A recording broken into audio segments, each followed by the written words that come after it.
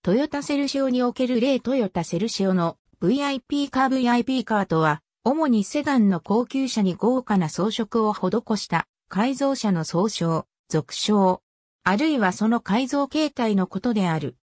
VIP とは日本語で、要人、つまり VIP カーとは、要人が乗る自動車という意味であるが、要人とは特に関係はなく、実際に要人が乗る自動車とは異なる。なお、本来 VIP は VIP と発音するのが正しいが、VIP カーについては VIP と発音される。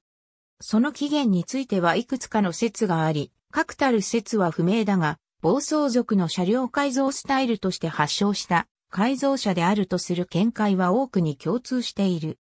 関西圏では、阪神高速環状線における警察の環状ローリング族撲滅作戦により走れなくなった暴走族チームの一部が車をシビックなどから旧型の高額自動車の安価な中古車に乗り換えて改造をしたのが始まりとされる。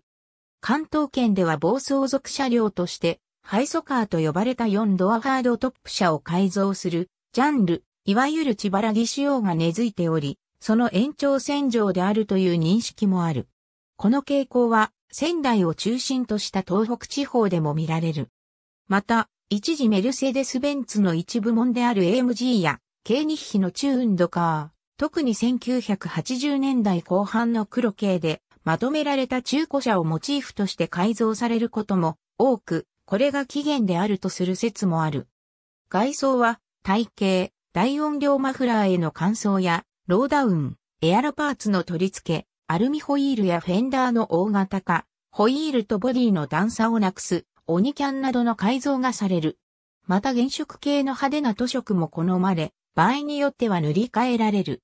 内装は、応接感をモチーフに、大理石調や木目調の装飾が施されることが多い。その他、棒などを用いた和風の装飾、原色や光物などを用いた派手な装飾など様々である。なお、スモークフィルムの貼り付けがなされることも多いが、夜間などに見えにくくなることから規制がされている。最近では、比較的シンプルな改造や、白や黒の控えめな塗色が好まれる。また古い年式の車種では、いかに現代的に見せるかといった改造が主流で、現行車種のライト類を移植したり、その純正色で全塗装をすることもある。内装は多数の小型モニターや大音量のオーディオウーファー、発光ダイオードやネオン管などの電飾を装備しているものが主流である。このほか、車高を低く見せるためルーフを黒く塗装することもある。さらにこの流れからヨーロッパのチューナーなどを意識したユーロスタイルやそのユーロスタイルをベースにしてスーパーカーなどの外観の造形を意識してのエアロパーツの加工などを行ったハイパーユーロと呼ばれるスタイルが生まれている。2000年代初頭には、運転席や助手席にバケットシートを入れ、隠し追加メーターやスポーティーハンドル、ロールバー、外装に後付け牽引フック、GT ウィングやボディにダクト加工、直径 130mm 以上の砲弾型マフラー、大ぶりなオーバーフェンダーに18インチのマイスターやエクイップなどのホイールをショルダー面に合わせるスポーティー VIP が一時期流行した。価格の安い旧式の中古車をベースにする場合、低年式車両は老朽化、メカニズムの複雑さから故障の多さや、補修部品確保の問題にも注意が必要である。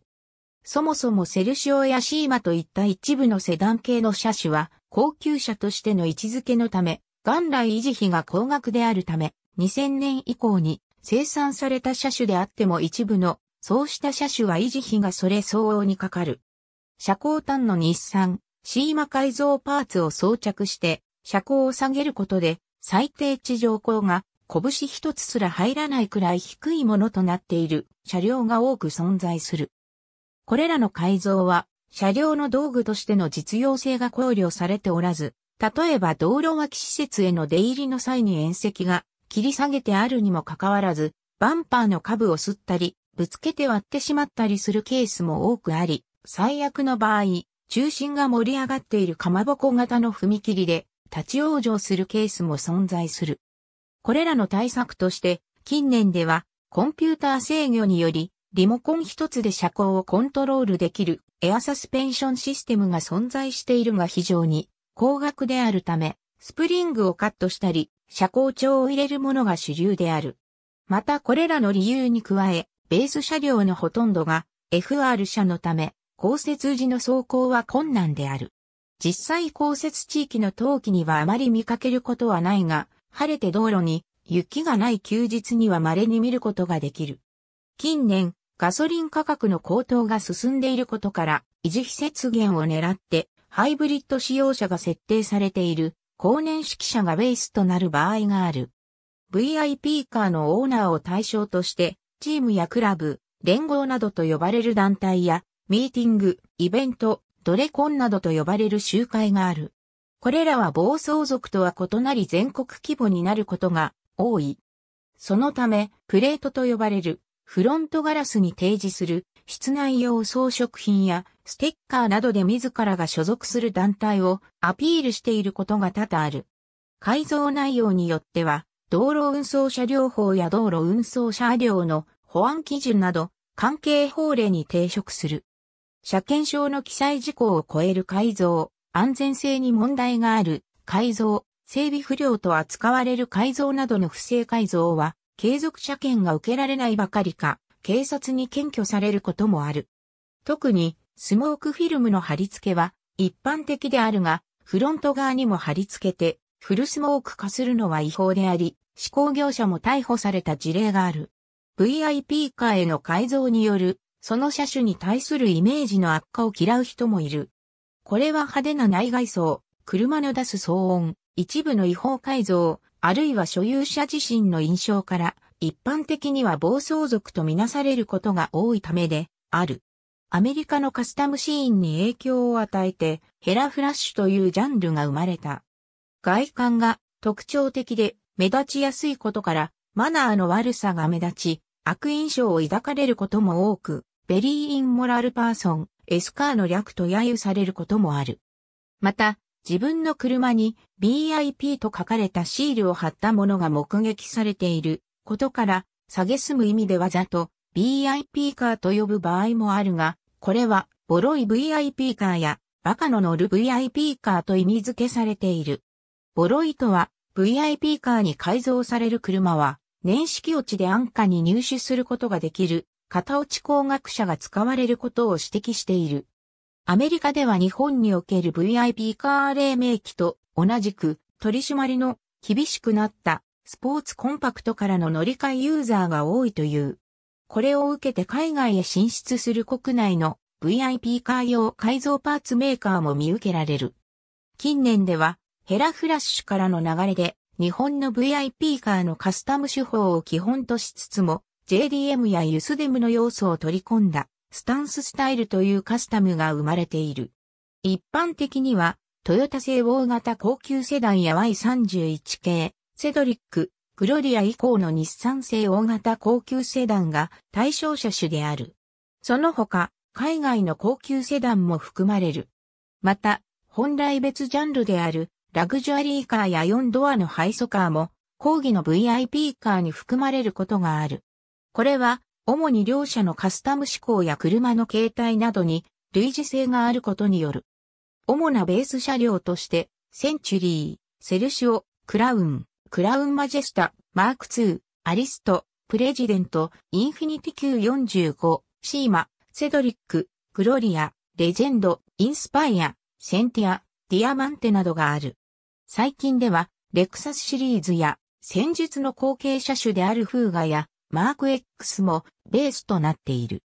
VIP カーにおいては、ベース車両のランク以外に装着する各パーツのブランドも重視される。中には VIP カー専用のパーツブランドも存在する。VIP カー愛好者の中では著名な VIP カーオーナーが設立したメーカーもある。BMW チューナーのアルピナやメルセデスチューナーのブラバス、ロリンザーなどのホイールが加工流用されることもある。AB、VIP カーってどんなジャンル？本当の VIP が乗る車との違いは、カーマ2016年9月5日閲覧。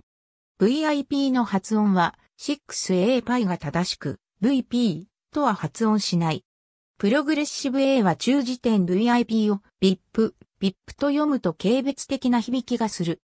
プラクティカルジーニアス A は時点 ISBN9 兆7844億6904万1682-1695ページ。当該項目より、芸文社、ビップカー。芸文社。2016年9月5日閲覧。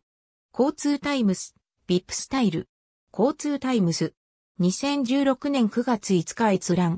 道路運送車両法 e ガブ法令検索。道路運送車両の保安基準 e ガブ法令検索。ありがとうございます。